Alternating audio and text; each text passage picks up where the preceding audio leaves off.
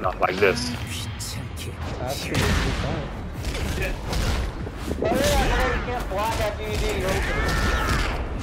Ah! Shoulder shank crank!